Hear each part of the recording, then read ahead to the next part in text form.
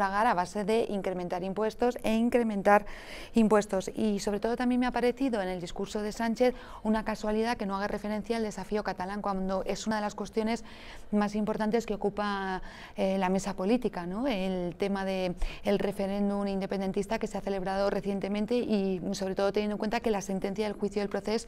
del proceso catalán se va a dictar eh, bueno, en, en, un tiempo breve, en un tiempo breve, que probablemente después de verano tengamos sentencia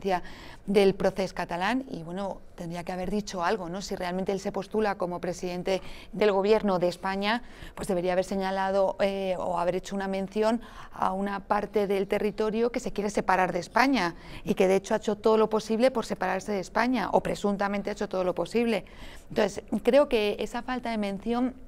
al tema, al conflicto catalán, no ha sido una casualidad, sino que ha sido algo totalmente querido para conseguir el apoyo de las fuerzas independentistas, porque no solo le hace falta Podemos eh, y las políticas sociales de Podemos, que son absolutamente desbaratadas, ¿no? porque al final lo que van a acabar es con el Estado y van a crear un modelo similar al de Venezuela, donde las personas se mueren de hambre, se mueren de hambre